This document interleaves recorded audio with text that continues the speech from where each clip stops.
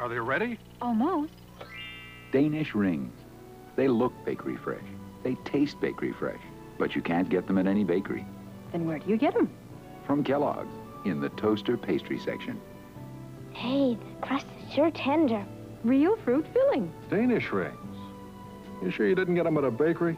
They look bakery fresh. They taste bakery fresh. Danish rings. From Kellogg's. And your toaster.